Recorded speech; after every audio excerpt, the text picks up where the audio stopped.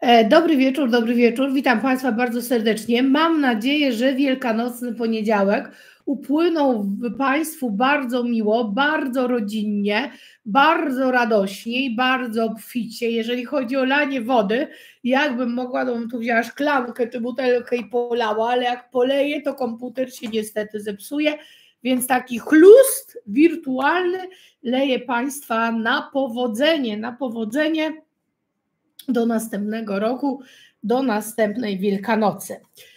E, a co z nami, e, co z energetyką na e, wtorek? Tak naprawdę, kochani, możemy powiedzieć, że wtorek 2 kwietnia pora wracać do rzeczywistości. Myślę, że troszeczkę się rozleniwiliśmy przez te święta i jeszcze z pełnymi brzuszkami, z wrażeniami rodzinnymi, przyjacielskimi, no będziemy wracać do rzeczywistości. E, I jaki to będzie powrót? No powiem Wam, że możemy mieć e, niestety niechęć e, do działania. Trudno nam będzie nieraz zebrać myśli ze względu na to, że Merkury o godzinie 0014 wkracza w retrogradację, czyli tak naprawdę na około, tak, na około 3 tygodnie e, możemy mieć e, troszeczkę e, gorszą pamięć, problemy z myśleniem, no i też również ze skupieniem, tak?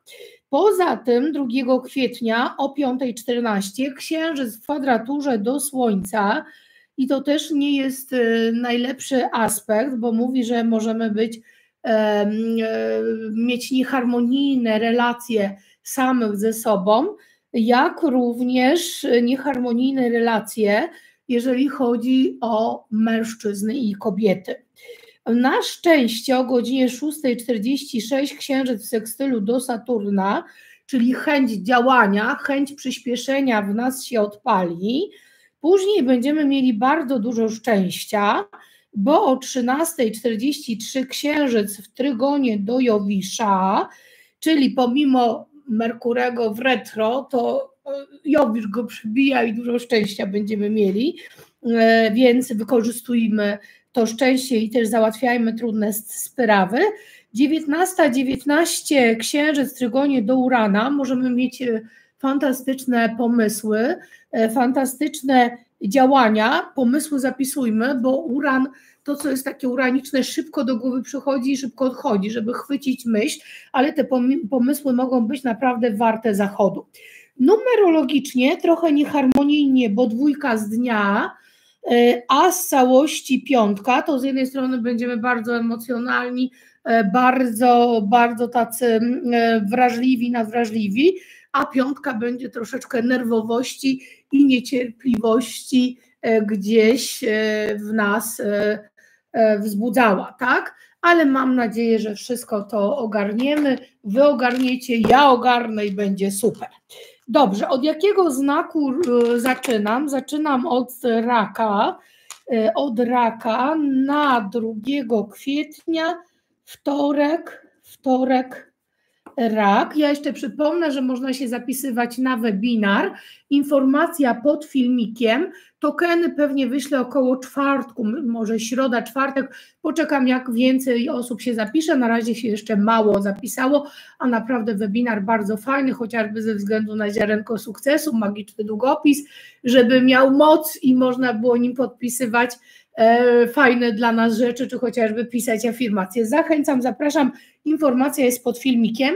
Jeżeli ktoś chciałby nagranie, to też można się zapisać. Nagranie będzie aktywne przez e, trzy dni e, i warto się przed medytacją i webinarem zapisać na nagranie, bo wtedy też właśnie w, po medytacji wyciągnę dla zapisanych na nagranie przesłanie indywidualne na mapę marzeń czy na cel który poczujecie w sobie podczas medytacji.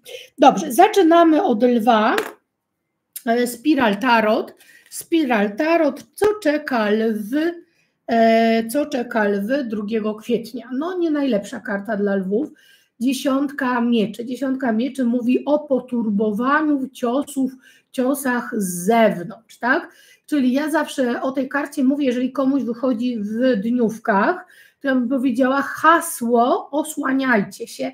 I jak będziecie się osłaniać, stawiać granice, to myślę, że żaden cios, bo miecze może być w postaci czyjegoś raniącego słowa, do Was nie dotrze.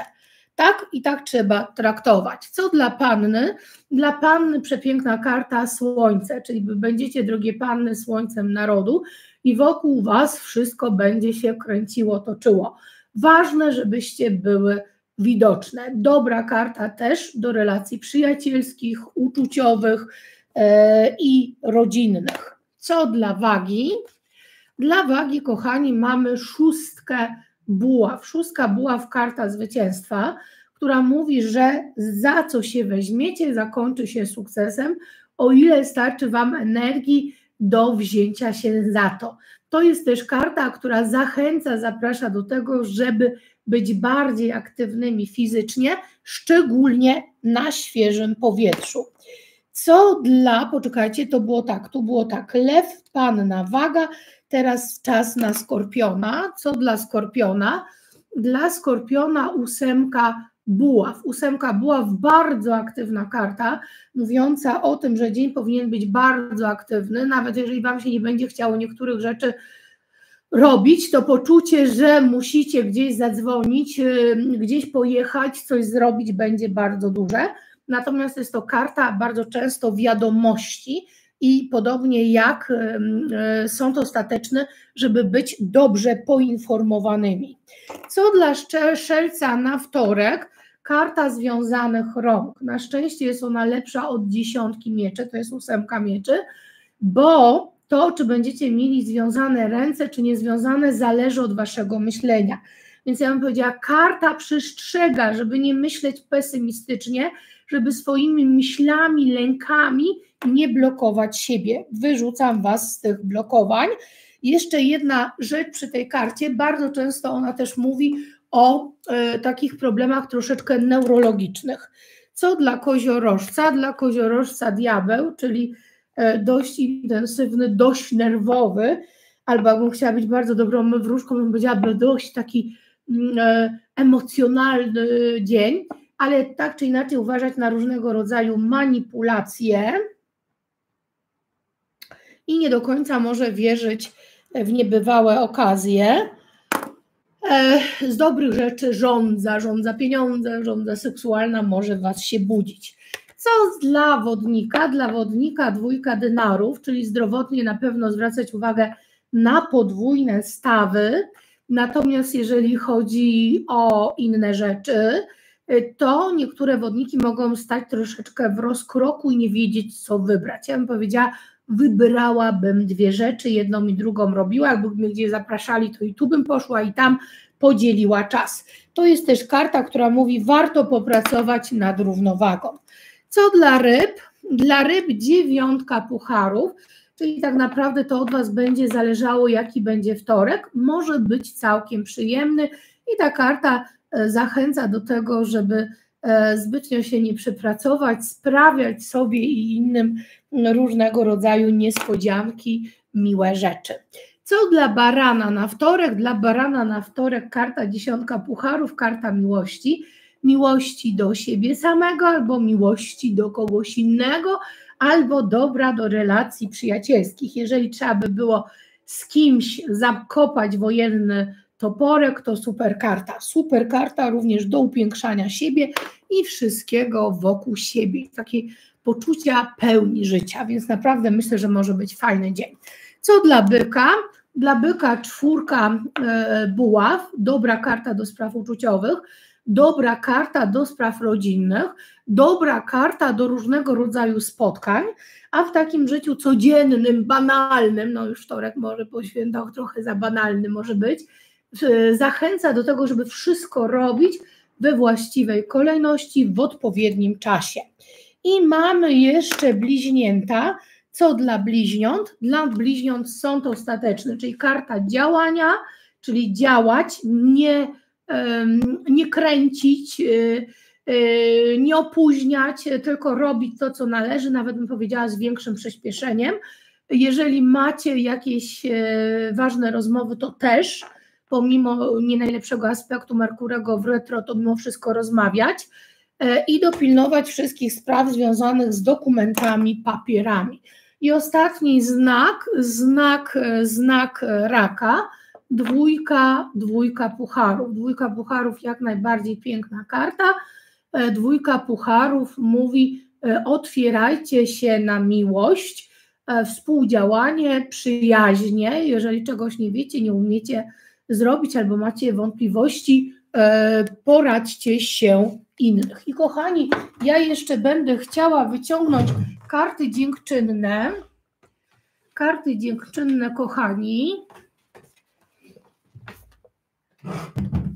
E, I już, kochani, już, kochani, bo dostałam kartki świąteczne e, od Iwonki, jak co roku. Iwonko, z całego serca Tobie dziękuję od Iwonki i Tadeusza, czyli najpierw podziękowanie dla Iwonki, oczyść swoją przestrzeń, myślę, że przed świętami oczyszczona, ale może jeszcze coś w głowie pozostało.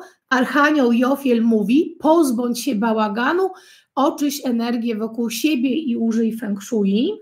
To dla Iwonki, to dla Tadeusza, dla Tadeusza twórcze pisanie, również twórcze pisanie egzaminów, więc wszystko może być dobrze. Archanioł Gabriel mówi: znajdź czas, y, Tadeuszu, by zapisywać swoje myśli w dzienniczku albo napisać artykuł lub książkę, a ja dodam zdać dobrze egzamin. I jeszcze dla Janki, przepiękną od Janki, od Huberta, jeszcze takiej nie dostałam nigdy, ale bardzo, bardzo, bardzo ładna, bardzo ciekawie zamykana. Ja lubię kartki papierowe. Z jednej strony niszczenie papieru, a z drugiej strony, słuchajcie, urok kartki e, papierowej to nie jest jak wysłanie SMS-a, naprawdę ma swoją moc. Więc dla Janeczki jeszcze w podziękowaniu za, za kartę. Dla Janeczki wspaniały pomysł, czyli Janeczko, Twoje pomysły są wspaniałe. Archanioł Uriel mówi: Tak, Twój pomysł to boskie przewodnictwo. Proszę podejmij działanie, by został zrealizowany. I jeszcze dla Huberta, dla Huberta przywództwo, przywództwo chociażby nad swoim życiem. Archanioł Gabriel mówi: Nadszedł czas, byś przyjął swoją pozycję oraz moc przywódcy i z miłością poprowadził innych. Super. Kochani, bardzo dziękuję za to, że ze mną jesteście. Do zobaczenia jutro w energetyce na środę. Pa, kochani, cześć.